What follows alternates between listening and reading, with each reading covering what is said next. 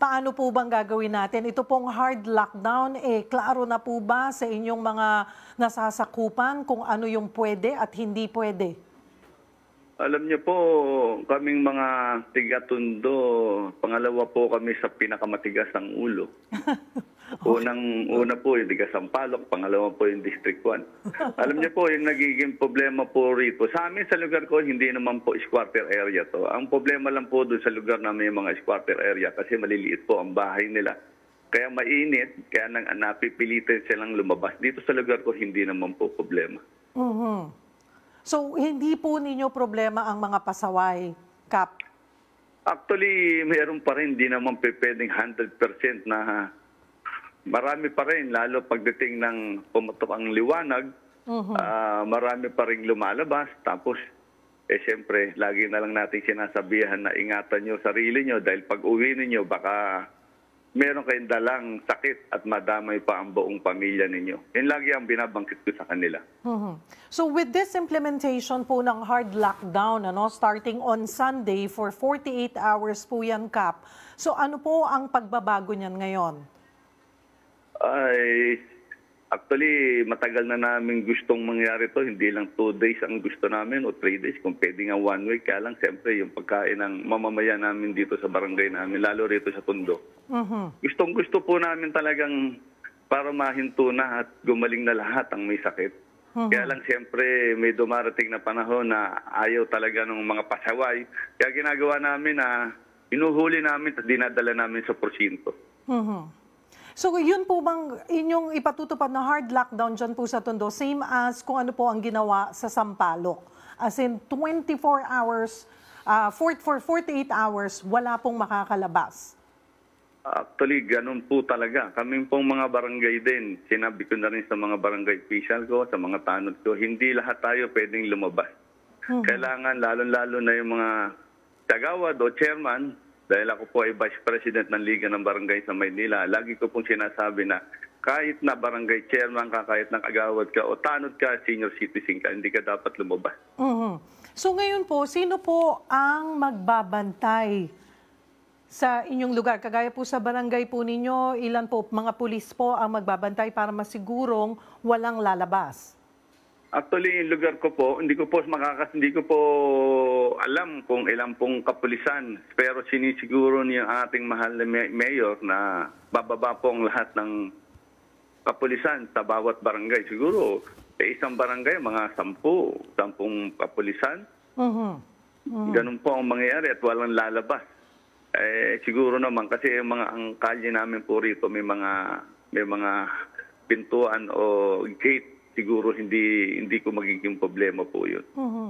Sa inyo po bang barangay, Kap, may mga frontliners din po? Kasi di po ba, kasi 48 hours, bawal lumabas. So kung may mga frontliners kayo or may mga health workers sa inyong barangay, eh hindi rin sila papayagan. Ah, yun po ang hinihintay naming ah, sabihin kasi sabi po ng ating mahal na alkalde, bibigyan po kami ng uh, galing sa DILG, bibigyan po kami ng ah, magpapagawa kami ng mga ID na talagang frontliners lang ang lalabas. At tulad po ng barangay official at mga tanod. Yun lang po ang pwedeng lumabas sa amin at lahat wala na po pwedeng lumabas.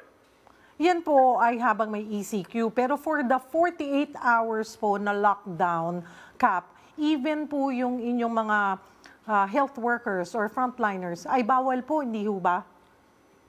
Ah, yun po ang pagkakaalam po kasi hindi naman pwedeng ang frontliners kasi namin dito, meron mga mga 30, 40, eh, mga ma- hindi hindi na po pe- pwede yun kasi delikado kasi yun po ang utos ng ating mahal na alkalde. Mabibilang lang siguro natin siguro pinakamarami na yung 20. Mhm, mhm. Puntahan ko lamang po ano, yung ah, Divisoria Night Market ay kasama po ito sa area na mag maipapatupad ang hard lockdown pero mananatili po itong bukas cap. Ang ang alam ko, malapit lang po sa amin ang Divisoria, walking distance lang po. Ang sabi po ng ating mahal na alkalde, eh, maaaring bukas pa ho. Hindi ko po kasi sigurado kasi hindi ko po barangay yun.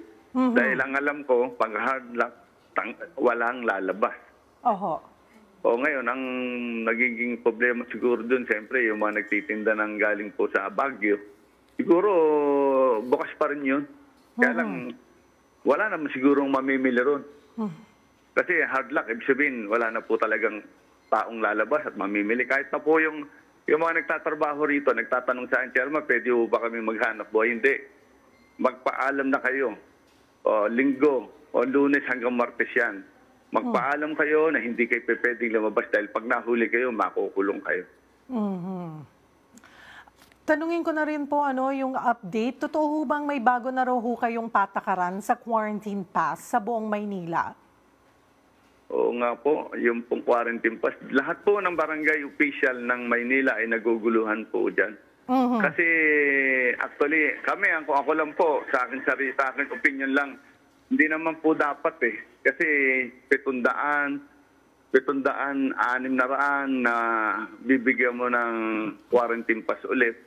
Actually, nauubusan na po kami talaga ng ink at wala pong mabiling ink. Yun po Yes. ang nagiging problema ng buong Maynila ngayon at barangay siguro po Pilipinas. Mhm.